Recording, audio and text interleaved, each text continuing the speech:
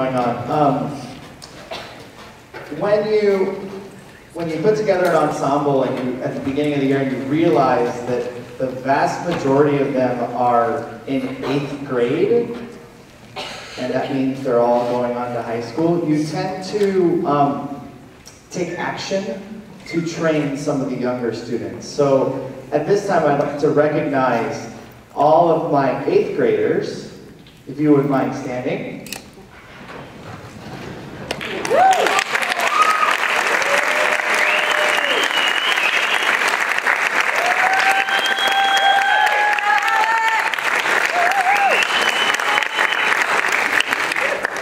And to put that in perspective, if my seventh graders could stand.